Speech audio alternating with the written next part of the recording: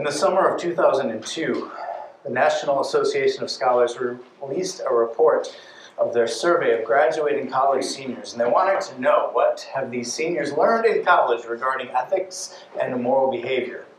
Has college prepared them ethically for their professional lives? Three quarters said yes, they had been taught what is correct. They had been ethically trained, they're ready. And yet, they also said what is right and wrong depends on differences in individual values and cultural diversity.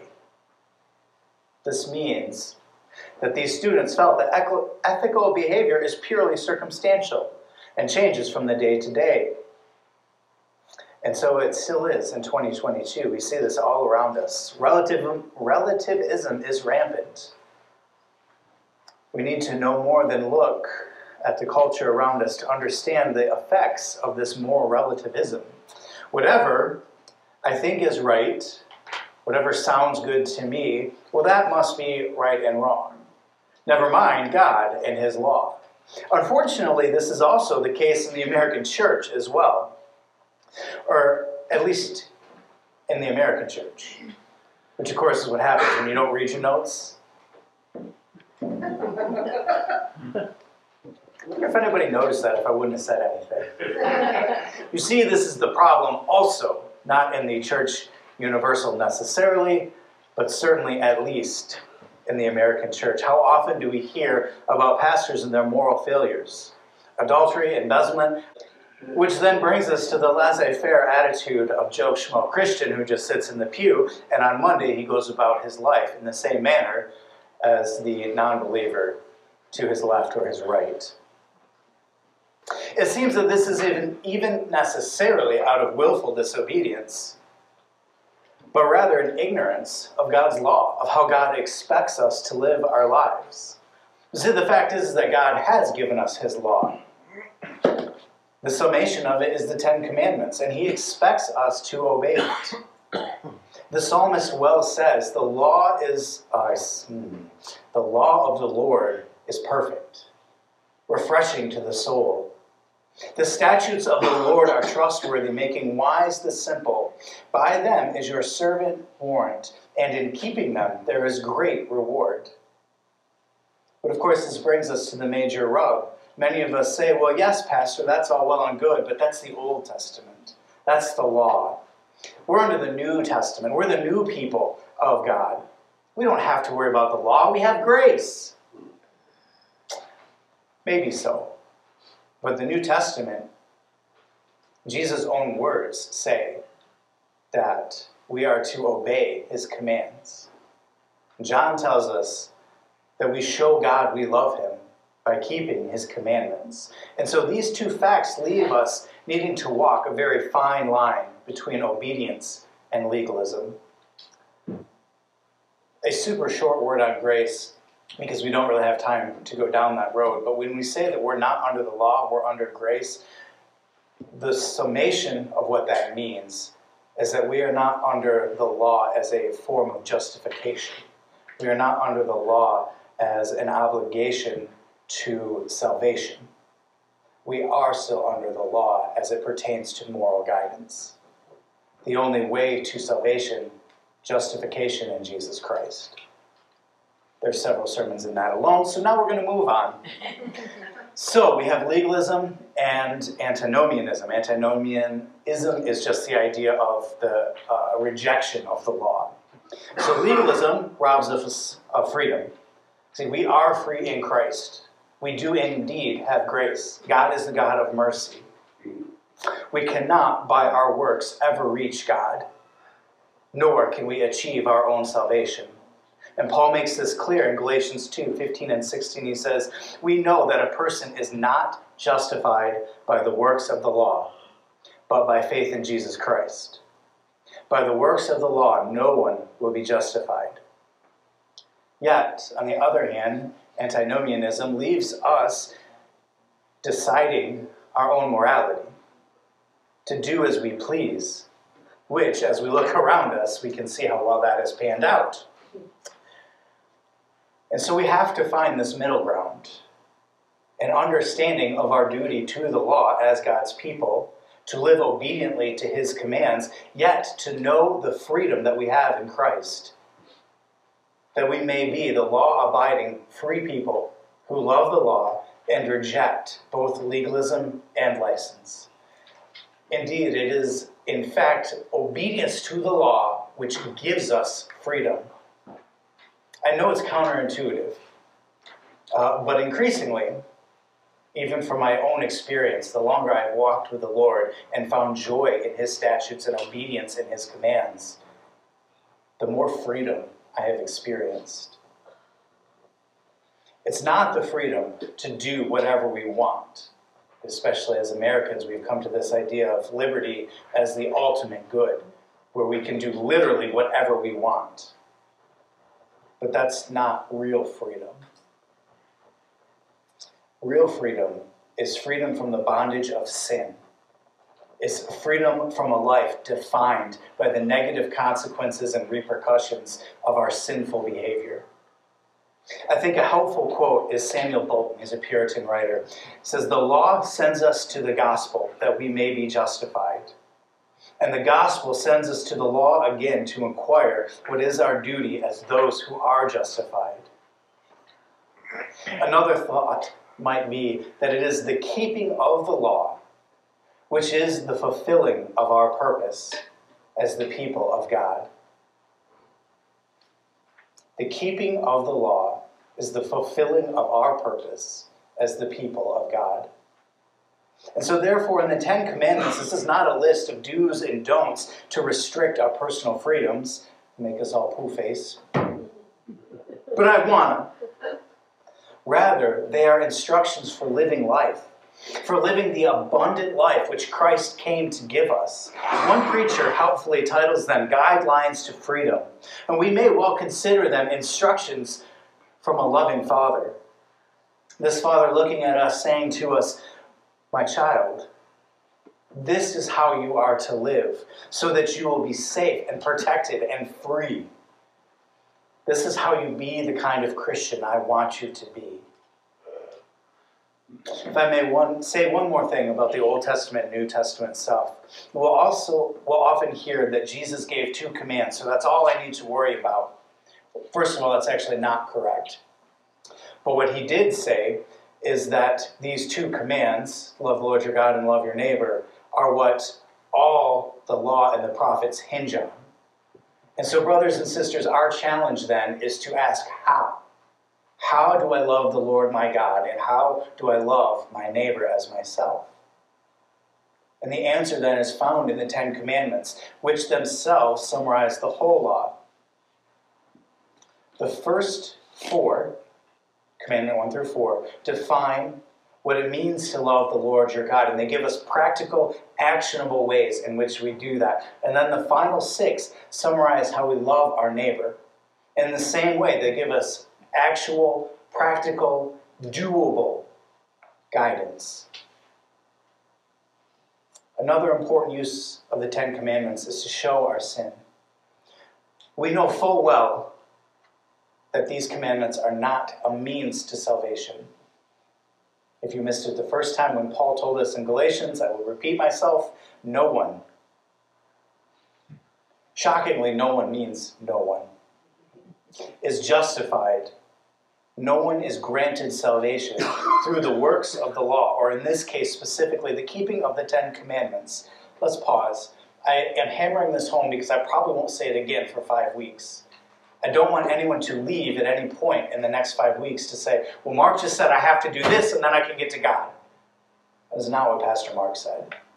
What Pastor Mark said is, this is how we ought to live. And then when we look at it and we realize how miserably we're failing, we come to the cross and say, Lord Jesus, forgive me.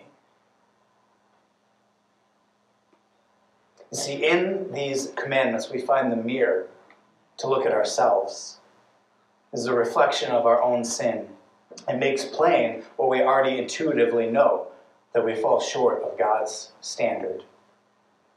Paul essentially says this in Romans 3:20, through the law we became conscious of sin.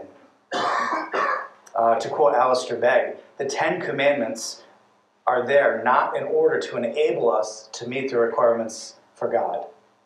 Only Jesus can meet those requirements. But in order to enable us to walk in the fullness and freedom that our Heavenly Father intends. I'm sure that we've all experienced it, if not ourselves, then we've seen the, the meme of the spinach in the teeth. And you sit there and you have a whole conversation with somebody with spinach in your teeth, and then you go use the restroom and you're washing up and you look in the mirror and you're like, oh, how long has that been there? How embarrassing. See, in the same way, the Ten Commandments reflect our sin. As we look at them, we can easily see, oh, how long has that sin been there?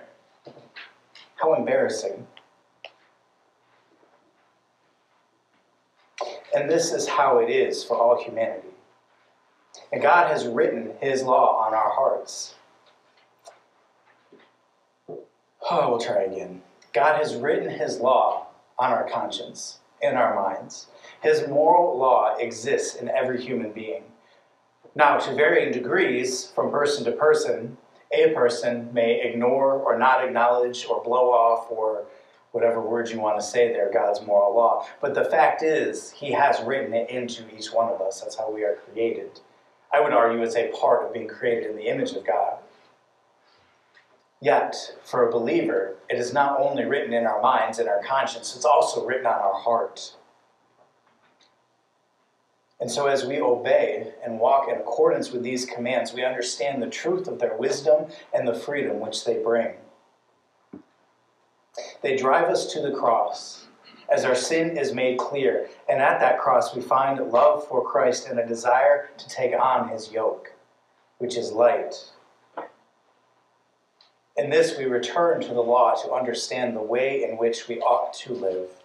And it is the Spirit of God who works within us, both to convince us of this sin and to empower us to overcome it. In all of this, we hear the Savior. We hear the Savior beckon us to Himself. He calls us to love the Lord our God and our neighbor. And as we reply, how He answers us with these Ten Commandments that I've given you. And so it is my hope that in this series, you take full advantage of the purposes we've discussed last week to prepare for Lent. That we might prepare well to celebrate our Lord and Savior and His victory, His resurrection. That having examined our own hearts through the lens of God's commandments, through God's moral law, as we prostrate ourselves at the foot of the cross, we again find our first love and a deeper understanding and appreciation of His work on our behalf. One more quick note. I need to give credit to Alistair Begg. He gave a series of sermons on the Ten Commandments that I heard last fall. Um, since that, God has really pressed into my heart that it's something I need to share with you all. At the time, I wasn't thinking, oh, this is perfect for Lent. At the time, I was looking at my calendar going, well, I have no idea when this is going to fit into my schedule, uh, our schedule, our preaching schedule. Um, but we'll find a spot. And here we are. Um, so, a large part of this sermon series is based on his series. I want to give credit where credit's due. How's that for an introduction? Are we doing okay? we bored yet? we tired yet? we feeling guilty yet? Let's open our Bibles to Exodus chapter 20. Exodus chapter 20. We're going to just do six verses today. Exodus chapter 20. God spoke all these words I, the Lord, am your God, who brought you from the land of Egypt, from the house of slavery. You shall have no other gods before me. You shall not make for yourselves a carved image or any likeness of anything that is in heaven above, earth beneath, water below. You shall not bow down to them or serve them. For I, the Lord your God, am a jealous God, responding to the transgression of the fathers by dealing with children to the third and fourth generations of those who reject me, and showing covenant faithfulness to a thousand generations of those who love me and keep my commandments. So today we're going to focus on commandment 1 and 2. Hopefully that was clear. I doubt any of us have really considered the depth of what these mean. Surely we all can look at them and say, all right, great. One God, only God. Yep, we got it. Check Raj, we're Christians. Move on. No idols. Got it. No wooden images. Cool. Well, time for lunch.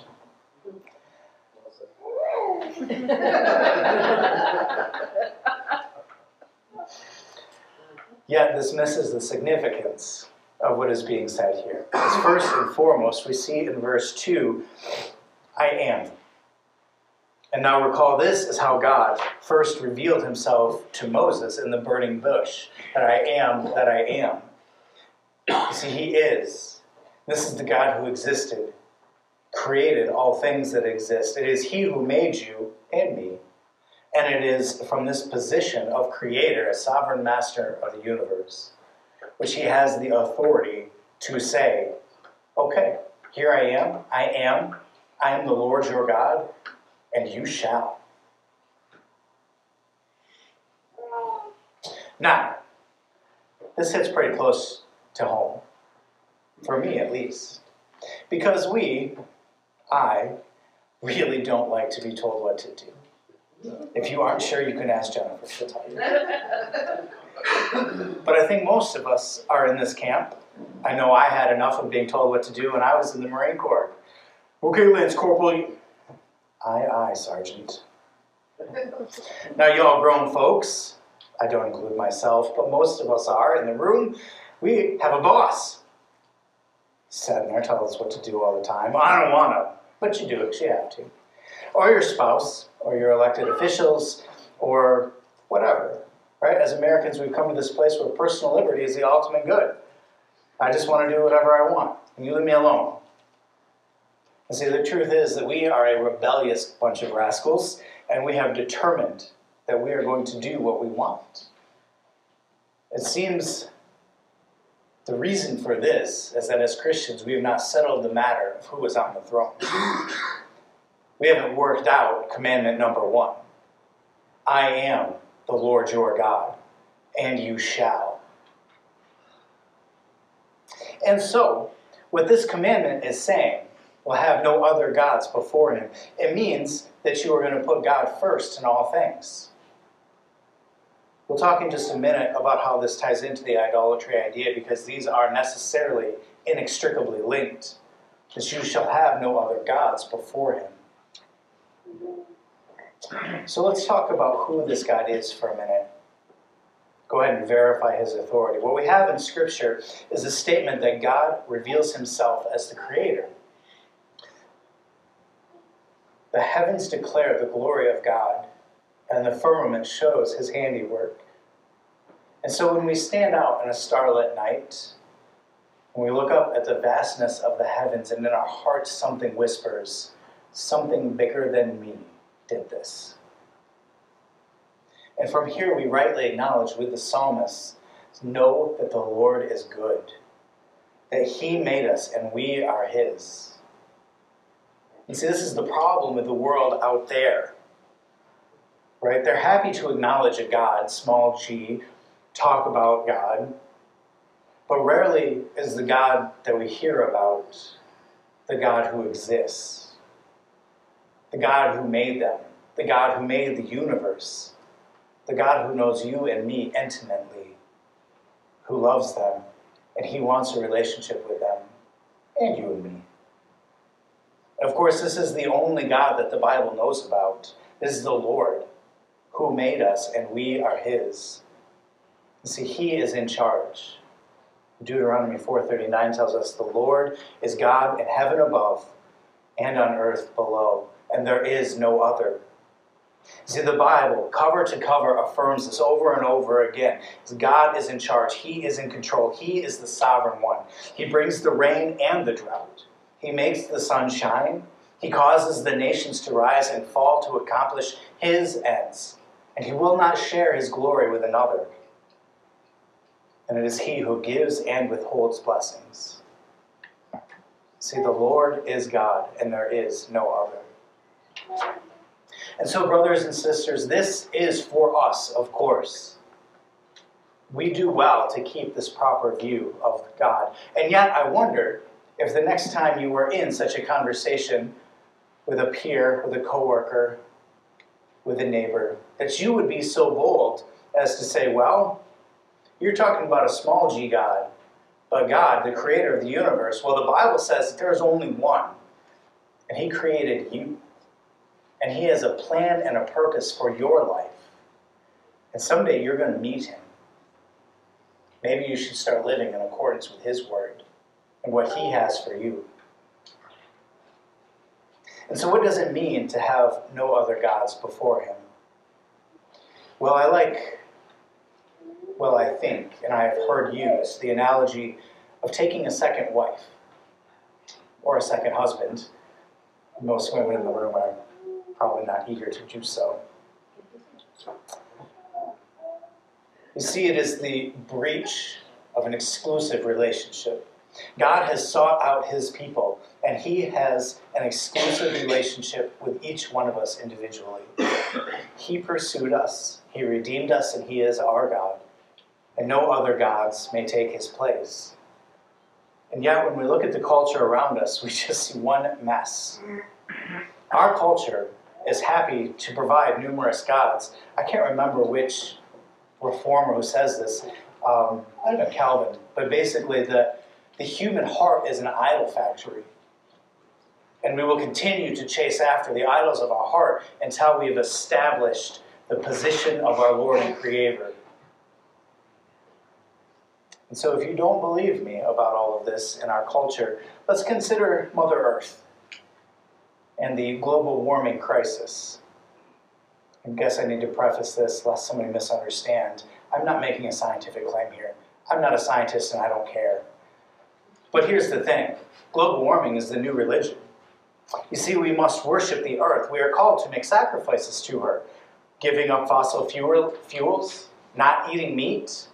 We have to appease her so that she doesn't wipe us all out. Quite a vengeful God, it seems. You see these people who are preaching this, these men and their women who are so smart, they're so educated, educated themselves out of knowing God, as we heard in Sunday school this morning. They claim to be so scientific and rational, and yet they've reverted back to these pagan gods of old. and just worship with a new twist. We've ceased to believe in the God of the Bible. We don't believe in anything anymore because we've started to believe as a society in everything. And it's not that these people don't believe in God, uh, but rather they believe in gods. And it, it is any belief in these gods that means we're not believing in the God of the Bible. And that's what the first commandment is all about. And so, as we take a look in the mirror, so to speak, who among us, professing Christians, have, have we accepted the lordship of God in our whole lives? And so, what I mean is this we readily give God those things which we want to, particularly our burdens and our troubles and things are going wrong, and we're ready to say, Okay, God, help me. But what about your work life? Are you serving God or are you serving man? Or Are you serving money? Is God Lord of your relationships? Have you put Him in charge of your friendships, of your marriage, of your professional relationships? How about your personal finances? How about your free time?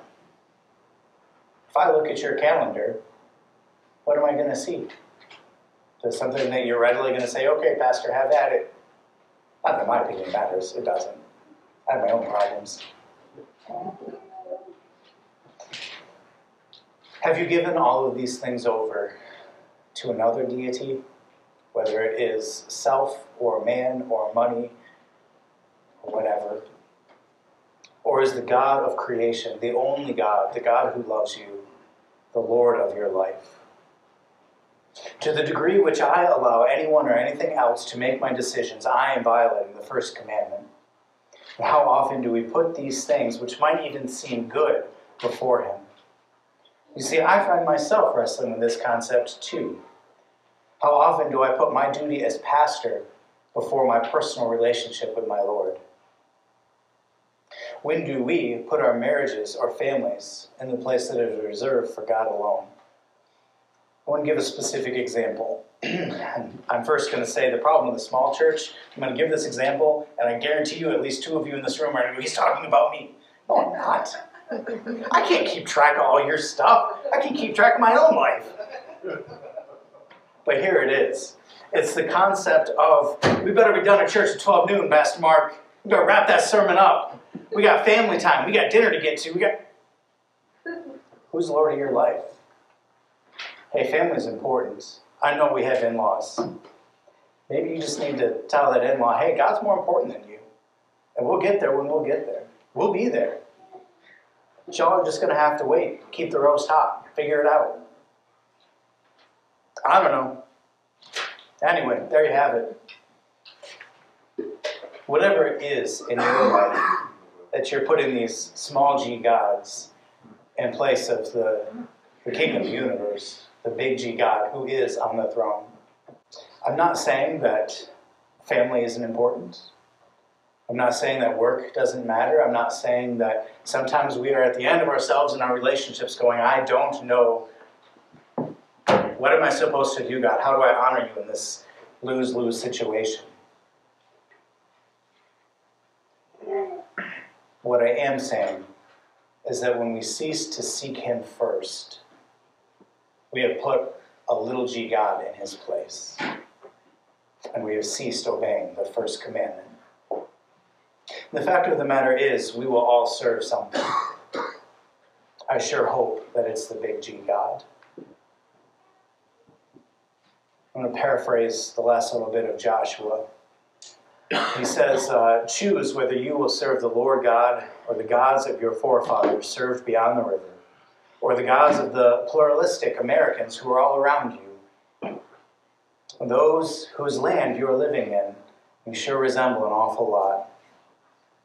But as for me and my household, we will serve the Lord. And this is what the first commandment is calling us to do to serve the Lord, only Him and wholly Him.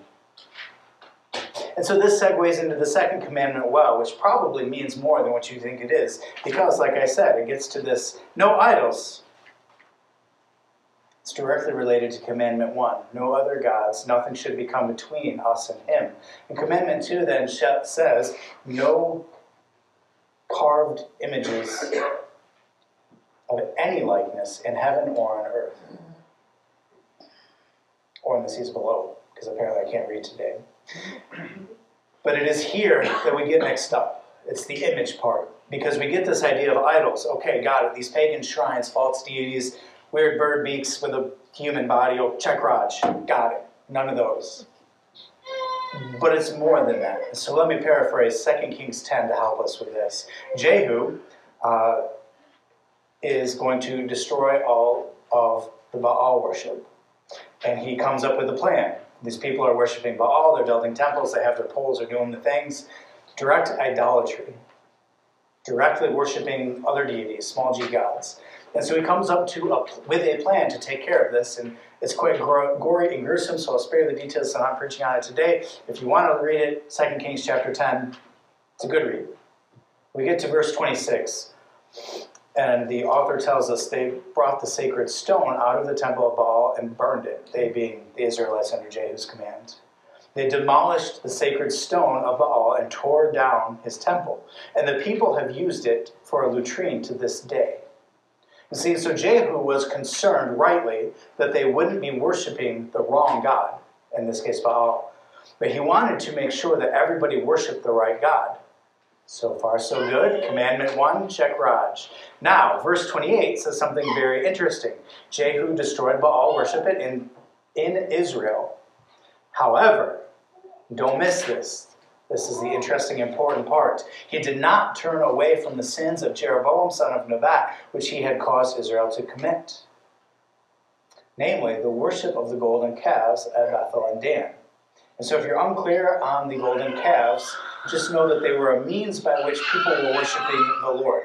So, the intent with the golden calves was not to worship another God, small g, but rather to worship Yahweh, the real God, through a means of these calves.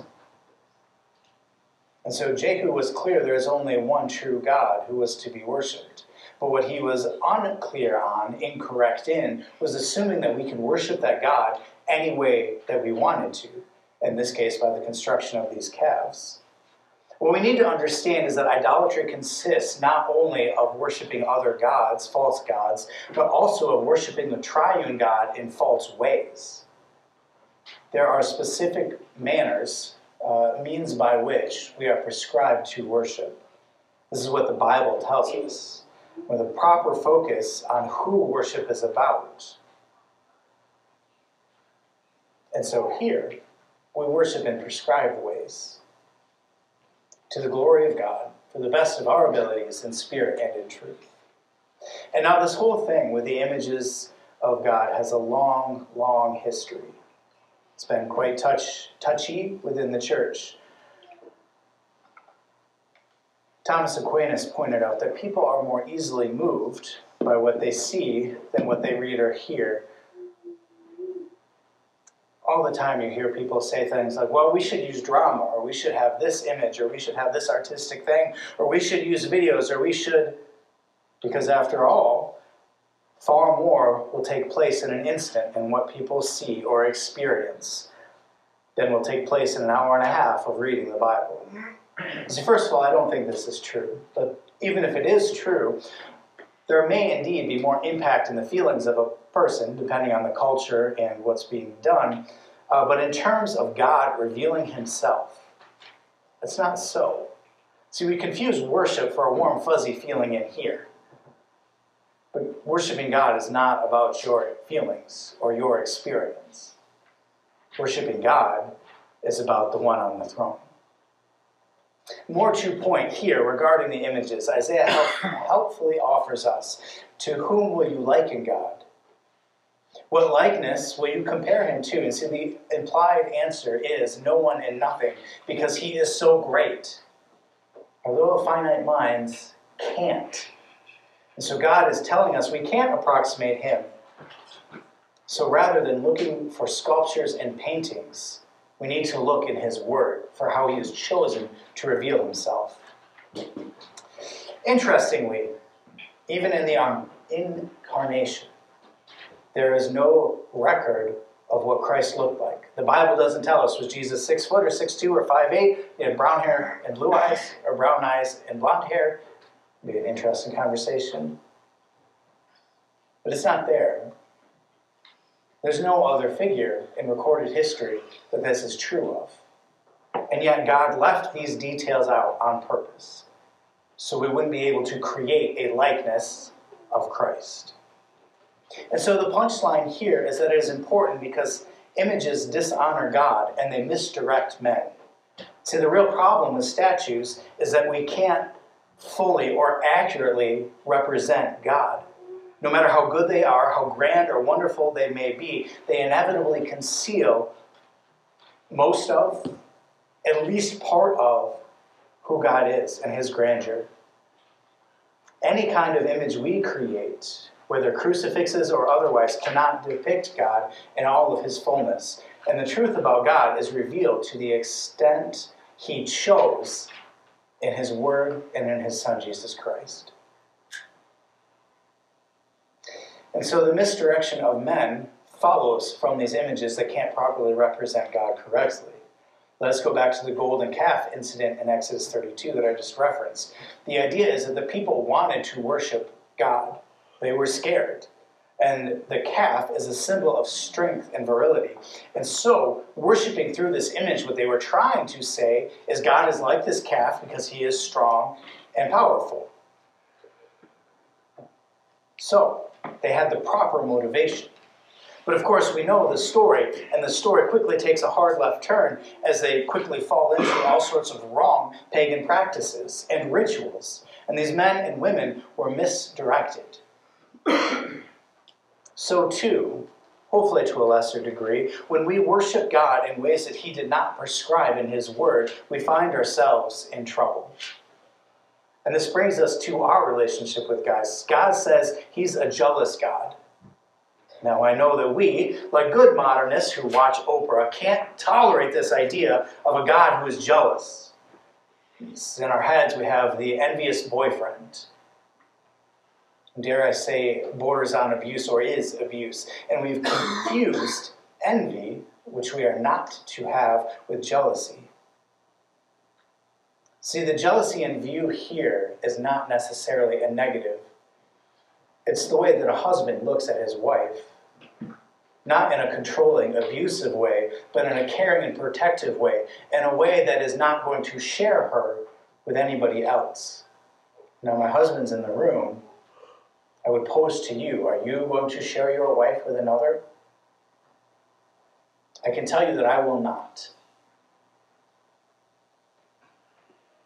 And so God says, I am a jealous God and I will not share you. If you try to make me share and you disobey me, then there are going to be consequences which will follow onto your children and their children, and so on and so forth. But see, really, this is just a statement of cause and effect. Because as we turn our backs on the laws of God and do whatever we want, yeah, we're going to suffer bad consequences. The inverse is also true. And those who live according to his statutes will be blessed from generation to generation. And now, y'all are smart, thinking individuals. I hope that this is thought provoking. We want to obey these commandments, yet we also want to imagine God. We want to know God. We want to draw near to God. We want to have a relationship. We want to experience Him. We want to be intimate with Him. And so, how do we get close to Him? We're at an impasse. And yet God knows this, and so He sent us His Son, who is, as Colossians tells us, the fullness of the Godhead, dwelling in bodily form. And we are complete in Him. And so God has drawn us to Him. He has come down to us, revealed Himself to us in the person of His Son, so that all of our encounters with Him would be there with His Son, Jesus. And how would we know this Jesus except that he has been revealed in his word? And anything and anyone that encourages us to worship the correct God incorrectly is a great detriment to our spiritual life and progress. And so I say all that to say, to leave us with this question of what does all that mean? Well, that's what we have to work out. The Bible talks about work out your faith with fear and trembling and obedience to the Lord. As Jesus said, this is eternal life, that they might know the only true God and Jesus Christ, whom you sent. And Jesus also says, He who has seen me has seen the Father. What a tragedy to embrace a picture, a crucifix, a statue, a painting, and to miss the person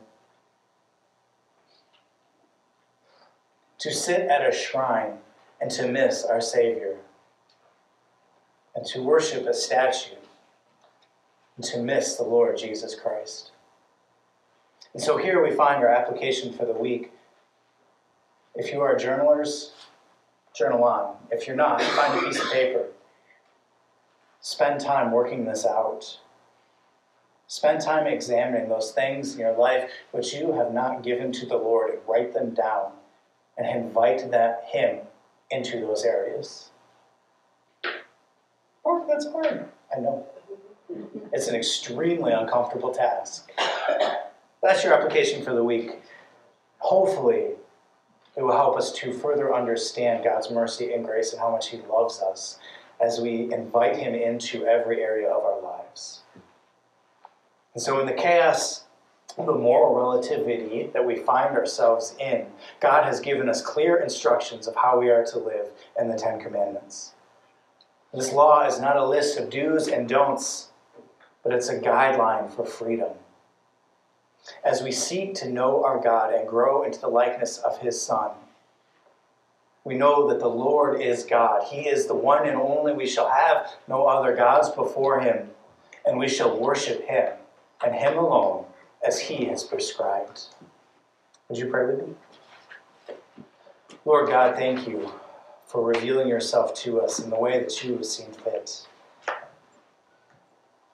Help us to write your statutes on our heart that we may experience the freedom we have in your Son, Jesus Christ.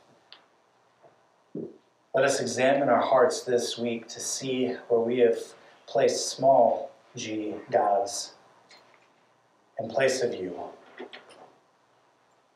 Lord, forgive us. Help us to welcome you into every area of our life, that we would have no other gods before you, and that we would worship you and you alone in spirit and in truth for your glory.